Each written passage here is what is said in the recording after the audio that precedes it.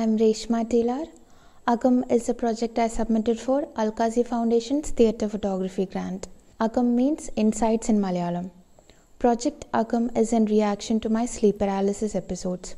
Sleep paralysis is an inability to move or speak while falling asleep or upon awaking. The series is a combination of several such dreams visualized with staged images and photo manipulation.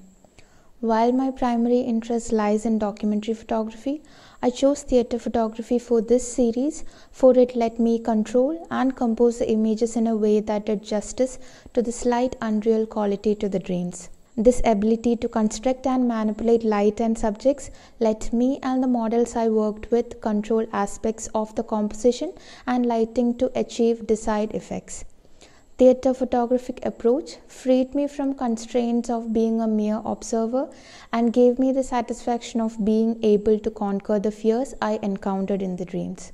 For the project, I referred to a journal of my episodes where I wrote about the hallucinations and apparitions and even illustrated them.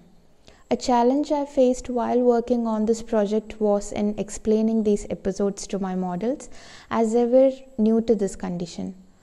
I would also enact the scenes to my models for their reference. Often we would sit down, talk about the dreams, and try to find a connection with things that happened in my life. I was always open for suggestions from my models regarding the costumes they wore or poses they held because they were enacting my dreams. It was me somehow documenting my dreams with their help and they were also not experienced in modeling, which helped my visuals gain a necessary realistic quality.